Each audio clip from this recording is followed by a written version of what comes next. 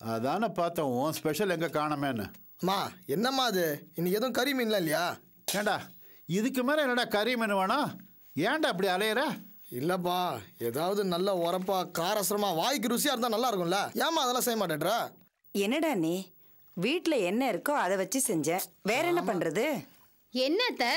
என் குழந்தை காரணம் இல்லாமையா வரப்பா புளிப்பா கேட்பாரு அங்கதான் வரப்பா ஊறுகாய் இருக்குல்ல அதை கொஞ்சம் எடுத்து போடுங்க.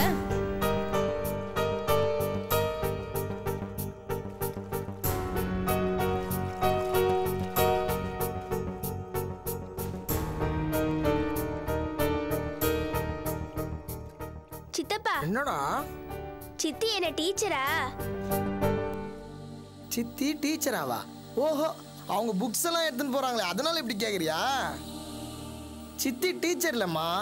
அவங்க பெரிய படிப்பு படிச்சுன்னு இருக்காங்க. இல்ல சித்தப்பா சித்தி உன்னை அடிச்சிச்சுல அதான் கேட்டேன். சொல்லுங்க சித்தப்பா சித்தி என்ன டீச்சரா?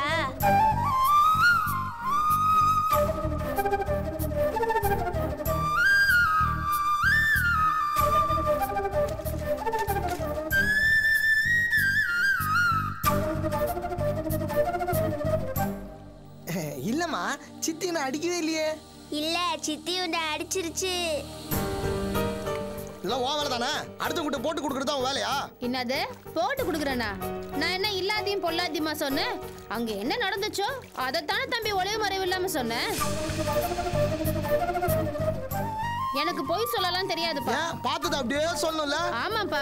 எனக்கு எதையும் மறைச்சு பேச தெரியாது. சூதுவாது கிடையாது. ஐயோ உன் பொண்டாட்டி சொல்றது கேட்டியானா? இந்த பாரு புல்ல இருக்குது எங்க ரெண்டு பேருக்குள்ள ஆயிரம் நடக்கும். அதை வெளில சொல்லணும் தெரியுதா உன் பொண்டாட்டி வேலையா? ஏ கலா என்ன இதெல்லாம்? எதுக்கு தேவையில்லாம இவங்க விஷயத்துல தலையிடுற? யோ என்னயா இங்க என்ன வெக்கக்கட்டு நடந்தாலும் கண்டுக்காம இருக்க சொல்றியா? என்ன வெக்க கிடக்கண்டு நீ? ஆ? கட்டினவன உன் பொண்டாட்டி கை நீட்டி அடிக்கிறா. இது வெக்கக்கட்டு இல்லையா? ஐயா நீ மட்டும் என்ன ஒழுங்கா? ஏன்? ஒரு நாள் உன் புருஷன் கண்ணத்தை நீ இடிக்கல? கை வாங்க போல? கன்னத்துல செல்லம் அடிக்கிறத பத்திலாம் நீ பேசாத. நான் எப்பயாவது கோவத்துல கைய வாங்கியிருப்பேன். ஆனா அடிச்சது கிடையாது. அடேங்கப்பா. அப்படியே நான் அடிச்சாலும் என் புருஷன் என்ன திருப்பி அடிச்சவர்டா அவர் எப்பவுமே உப்பு ஊற தான் சாப்பிட்டுட்டு இருக்கிறவர். உன்ன மாதிரி தலையை குனிஞ்சுக்கிட்டு அடி வாங்குற ஆள் கிடையாது.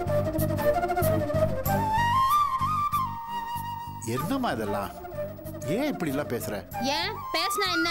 உங்க சின்ன மவனை அந்த மெத்த படிச்சவ ரூம்குள்ள போட்டு புஸ்தகத்தால் அடிக்கிறா மோபாயில குத்துறா போட்டோத்துக்கு தலைமையில் தலைமையில அடிக்கிறா. இவனும் புள்ள பூச்சி கணக்கா தலையை குனிஞ்சுக்கிட்டு அடி வாங்கிட்டு நிக்கிறான்.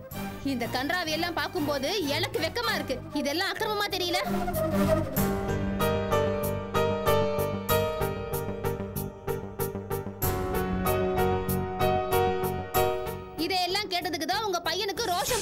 வந்துருச்சு ஏண்டாப்பா இப்ப வர்ற ரோஷமும் சொர்ணையும் அப்ப ஏன்டா வரல? எங்க ரெண்டு பேருக்குள்ள ஆயிரம் நடக்கும். உன் கையில வந்து நியாயம் கேட்டமா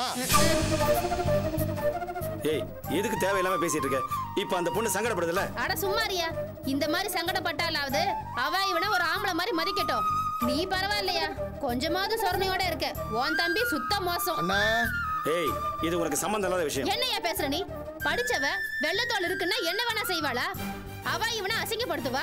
இவன் அவளை நியாயப்படுத்துவானா? ஏயா இத்தனை பேர் இருக்கீங்களே? இது தப்புன்னு இவனுக்கும் அவளுக்கும் யாராவது எடுத்து சொல்றீங்களா? அதை விட்டுட்டு ஏன் மேல பாயிரீங்க இந்த வீட்ல ஆம்பளைங்களுக்கு மரியாதை வேணாமாயா இன்னைக்கு புருஷனை கை நீட்டுறவ நாளைக்கு உன்னையும் உங்க அப்பாவையும் அசிங்கமா பேச மாட்டான்னு என்னையா நிச்சயம்? ஏய், நீ ரொம்ப ஓவரா பேசாத. நீ ஃபர்ஸ்ட் எல்லாருக்கும் மரியாதை கொடு. அதுக்கப்புறம் என் பொண்டாட்டி ஆண்டவா ஏய் நீ எனக்கு சொல்லி கொடுக்குறியா பாரு. டேய் அதுகிட்ட பேசுறத விட்டுட்டு நீ பேசாம உட்காந்து பாருங்க எல்லார் கையிலுமே சொல்லிட்டேன். என் பொண்டாட்டி ஆண்ட எப்படி நடந்துக்கிறதுன்னு எனக்கு தெரியும். யாரும் எனக்கு சொல்லி தர தேவையில்ல. டேய் சாப்பிட்டுட்டு போடா. என்னங்க இது? டேய். ராஜேஷ். யோ யோ நீ ஏன் போற? சாப்பிட்டு போயா? யோ சாப்பிட்டு போங்கறல்ல. என்னங்க பேசாம இருக்கீங்க? கலா சொல்றத கேட்டியா? ஆர்த்தி ராஜேஷை கை நீட்டி அடிச்சாளா? அது தப்பு இல்லையா என்னங்க சொல்றது? படிச்ச பொண்ணு. படிச்ச பொண்ணு. அவ கலாவை விட நாகரிகமாக தான் நடந்திருக்கணும். புருஷனை கை நீட்டலாமா? இதையா காலேஜில் சொல்லித் தராங்க. ராஜேஷ் ஒன்றும் வருத்தப்படலையேங்க. அவன் பார்த்து கூட்டு வந்த பொண்ணுன்னு அவன் தணிஞ்சு போறான் போல் இருக்கு ரொம்ப சங்கடமா இருக்கு லட்சுமி. இந்த காலத்து பிள்ளைங்க நாம எதிர்பார்க்குற மாதிரி இல்லைங்க.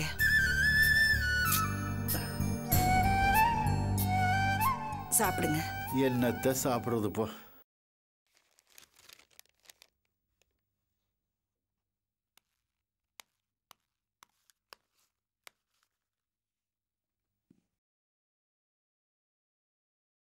குட் மார்னிங் மேடம் ம். இப்பதான் வரியா ஆமாம் மேடம் நாளையிலேருந்து கொஞ்சம் சீக்கிரமா வர ட்ரை பண்ணு. புரியுதா? சரி மேடம் மேலே ரூம்ல என் ஹேண்ட்பேக் இருக்கு. அதை எடுத்துட்டு வா. போ. மேலேனா எந்த ரூம் ஒரு ரூம்ல பாட்டு சத்தம் கேட்கும் அதான் என் ரூம் போய் எடுத்துட்டு வா சரி மேடம் டிரைவர் ஆ பிளாக் ஹேண்ட்பேக் புரியுதா ஓகே மேடம் கோ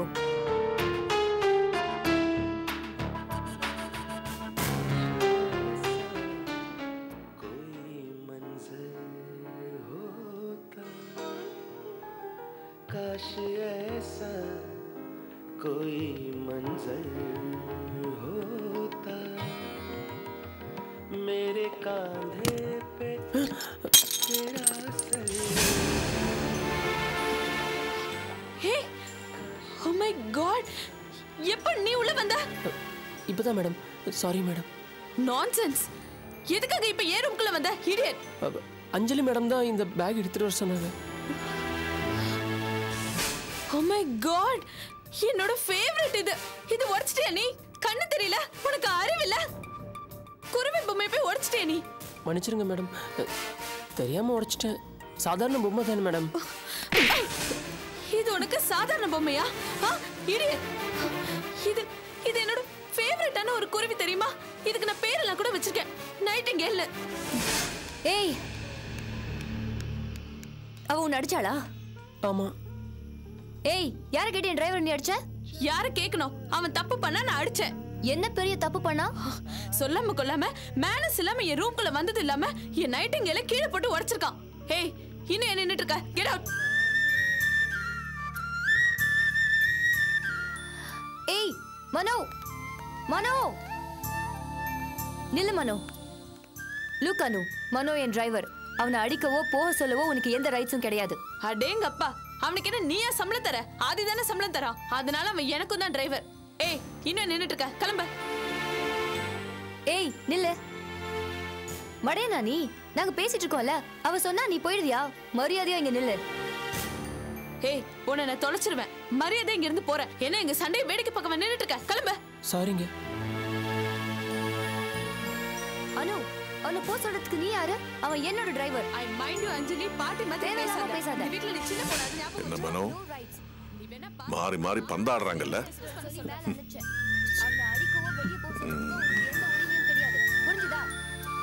உன் பர்ஸ் வேணும்னா நீ தான் வந்து எடுத்துக்கணும் ஒரு டிரைவரை ரூம்குள்ள அனுப்புறதுக்கு முன்னாடி நீ ஏன் பெர்மிஷன் கேட்டுக்கணும் அஞ்சலி? ஏய் அனாவசியமா என் வழியில குறுக்கிடாத. புரியுதா? அஞ்சலி நீ தேவையில்லாம ஏன் விஷயத்துல okay? Stop it now Anu என்ன இதெல்லாம்? நம்ம கிட்ட வாங்குற சம்பளத்துக்கு அவனுக்கு வேலை கொடுத்துருக்கோம். தட்ஸ் ஆல் அவனை அடிக்கிற உரிமை கிடையாது. நீ படிச்சவள் தானே இப்படி பிஹேவ் பண்ணலாமா? அப்பா அவன் என்னோட நைட்டிங்கேல உடைச்சிட்டான். உடைச்சது மட்டும் இல்லாம ரொம்ப சாதாரணமா வேற பேசிட்டு போயிட்டான். பிங்கா பொம்மை. ஈஸியா உடஞ்சிருச்சு நீயும் நானும் உடைச்சிருந்தா என்ன செய்வோம்? ஈஸியா நோ நம்ம கிட்ட வேலைக்கு வரவங்க கிட்ட நம்ம உழைப்பு மட்டும் தான் எதிர்பார்க்கணும். அதை விட்டுட்டு அவன் உணர்வுகளை சீண்டி பார்க்க கூடாது. That is very dangerous I want both of you அந்த பையன்கிட்ட ஒரு வேலை கொடுத்து அவன் செய்யலைனா கண்டிக்கலாம். ஆனா அவன் இன்சல்ட் பண்ண கூடாது புரியுதா?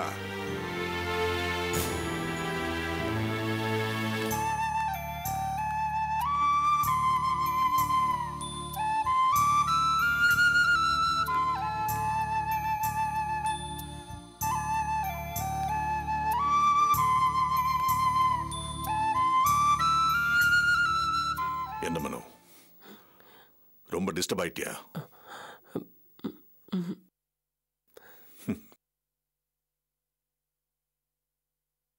நான் பார்த்தா வேலையை விட்டு ஓடிடலான்னு மனசில் நினைக்கிறேன். இல்ல? இல்லை சார். நான் நினச்சா கூட என்னால் இந்த வேலையை விட்டு போக முடியாது. ஏ- ஏன்னா என் குடும்ப சூழ்நிலை அப்படி சார். நான் இதுக்கெல்லாம் மனசை தயார்படுத்திட்டு தான் சார் வந்தேன். பணக்காரங்க வீடுனா அப்படி தான் இருக்கும். இதெல்லாம் சகிச்சுக்க வேணும்னு சொல்லி தான் நான் வந்தேன் சார்.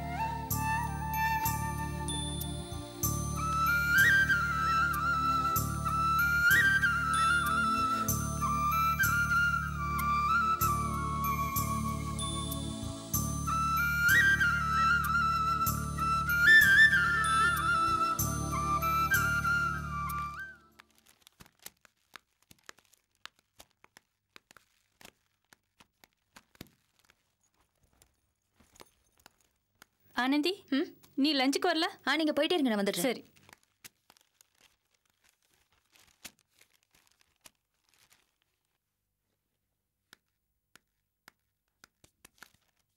ஹலோ சொல்லுங்க சார் யார் வேணும்? ஆனந்தி. என்ன? இல்ல. ஆபீஸ் விஷயம் ஏதாவது பேசணுமா? இல்ல ஆனந்தி. விஷயம் ஏதாவது இருந்தா சொல்லுங்க செய்யறேன் அதை தாண்டி வேற ஏதாவது பேசுறதா இருந்தா வேண்டாம். ஆனந்தி நான் உங்ககிட்ட கொஞ்சம் பேசணும். இது பாருங்க. நீங்க எங்கிட்ட ஆபீஸ் ஆர்ல மட்டும் பேசுங்க. அதுவும் ஒர்க் சம்பந்தமா மட்டும். இப்ப எதுவும் வேண்டாம். நானும் நீயும் தனியா இருக்கணும் பேசணும்னு ஆசைப்படுறேன். இதெல்லாம் மடத்தணுங்க என்ன ஆனந்தி பேசுற? நீ என் மனசுல இருக்க. உன்கிட்ட நான் தனியா பேசணும்னு ஆசைப்படுறதுல என்ன மடத்தனம் இருக்கு? மிஸ்டர் இப்படி தொடர்ந்து டார்ச்சர் பண்ணிட்டே இருந்தீங்கன்னா அப்புறம் நான் கம்ப்ளைண்ட் பண்ண வேண்டி வரும். பண்ண ஆனந்தி. நீ யார்கிட்ட கம்ப்ளைண்ட் பண்ணாலும் நம்மளை பத்தி அவங்க கிட்ட எடுத்து சொல்ல போற. அவ்வளவுதானே? பல முறை உங்ககிட்ட சொல்லி சொல்லி எனக்கு அழுத்து போச்சுங்க. ஏன் என் உயிரை இப்படி வாங்குறீங்க? என்ன ஆனந்தி நம்ம ரெண்டு பேருக்கும் கல்யாணம் இருந்தா இந்நேரம் நான் உனக்கு புருஷன் தானே? நல்ல வேலை அது நடக்கல. நீங்க தான் வேற ஒருத்தைய கல்யாணம் பண்ணிக்கிட்டீங்களே. எது? ஒரு வார்த்தை சொல்லு. அவளை துரத்தி அனுப்பிச்சிடுறேன். மடத்தனமா உளராதையா அவளை துரத்திட்டு என்ன உன் வீட்டுக்கு கூப்பிடுறியா? அசிங்கமால உனக்கு? அவ உன் பொண்டாட்டி. என்ன வளர்ற நான் ஏத்துக்கிட்டா தானே அவ பொண்டாட்டி? காட் ப்ளீஸ் எல்லார் நன்மையும் நினைச்சு நான் சொல்றேன். இதை இதோட விட்டுருங்களேன். இப்படிலாம் பேசக்கூடாது ஆனந்தி. நீ புத்திசாலி பொண்ணு நினைச்சுக்கிட்டு இருக்க இப்படிலாம் பேசலாமா? எக்ஸ்கியூஸ் மீ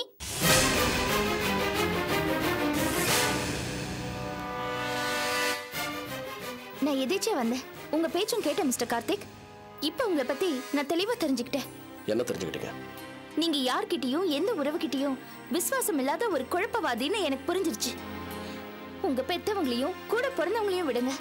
மனைவி கிட்ட கூட நீங்க நேர்மையானவரா விசுவாசமானவரா இல்ல. இல்லங்க நான் ஆனந்திக்கு விசுவாசமா தானே இருக்கேன்? டேமேட் கட்டின பொண்டாட்டியை விட்டுட்டு ஆனந்தி கிட்ட இந்த மாதிரி பேச்சு பேசுறீங்களே? என்ன நியாயம் இது? இதை பாருங்க. இது எனக்கும் உங்க தங்கச்சிக்குள்ள பிரச்சனை. என் தங்கச்சி கிட்ட ஒரு மூணாவது மனுஷன் வந்து இப்படி தொந்தரவு கொடுத்துட்டு இருக்கும்போது என்னால பார்த்துட்டு சும்மா இருக்க முடியாது மிஸ்டர் கார்த்திக். யார் மூணாவது மனுஷன்? நான் இவளோட புருஷன். அசிங்கமா உளறிட்டு இருக்கீங்களே. உங்களை சொல்லி குத்தம்ல உங்களுக்கு அப்படிதான் தெரியும். இது பாருங்க. இது வரைக்கும் உங்களால இவ்ளோ பிரச்சனை இருக்குன்னு எனக்கு தெரியாம போச்சு. இந்த ஆபீஸ்ல கூட நீங்க வேலை பாக்குறீங்கன்னு எனக்கு தெரியாம போச்சு. தெரிஞ்சிருந்தா? தெரிஞ்சிருந்தா? ஆனந்துக்கு இந்த வேலையை வாங்கி கொடுத்ததே நான் தான். என்ன ஆனந்தி சொல்லலையா?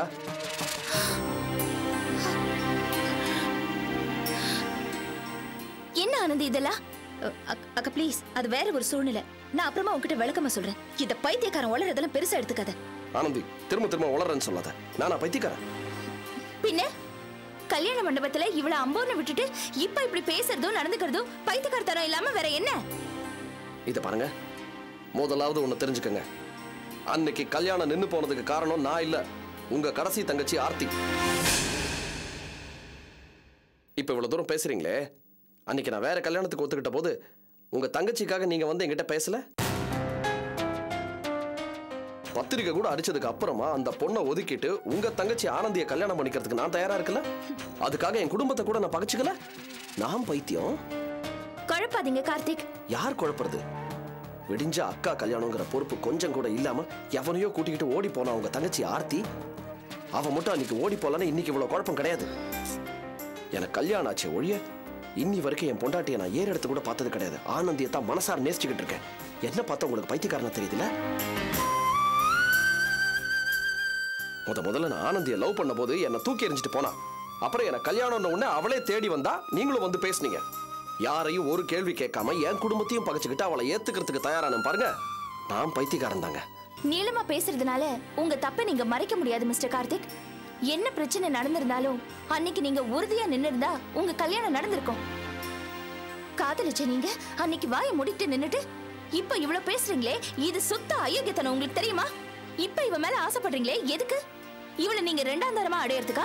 ஊர் உலகெல்லாம் எவ்வளவு கேவலமா பேசும்னு உங்களுக்கு தெரியுமா? ஊர் உலகத்தை பத்திலாம் நான் கவலைப்படலங்க. இருக்கட்டும். ஆனா ஆனந்தியோட விருப்பம்னு ஒண்ணு இருக்குல்ல? அவ உங்களை கட்டிக்கிறேன்னு சொன்னாளா? சொல்லாட்டி அதான் அவன் மனசுல இருக்கே. ஏங்க இந்த வேலையை முதல்ல வேணாம்னு தூக்கி எறிஞ்சிட்டு போனவ எதுக்கு மறுபடியும் வந்து ஏத்துக்கணும்? நான் இந்த மாதிரி பலமுறை அவகிட்ட பேசியிருக்கேன். வேலையை விட்டு போக வேண்டியதானே ஏன் இன்னும் இருக்கா? சரி அதெல்லாம் விட்டுருவோம். ஏன் இன்னும் ஆனந்தி வேற யாரையும் கல்யாணம் பண்ணிக்கல? அவன் மனசுல நான் இருக்கிறதுனால தானே? நான் சொன்னதெல்லாம் ஆறாமரை யோசிச்சு பாருங்க. அதுல இருக்கிற உண்மை உங்களுக்கே புரியும்.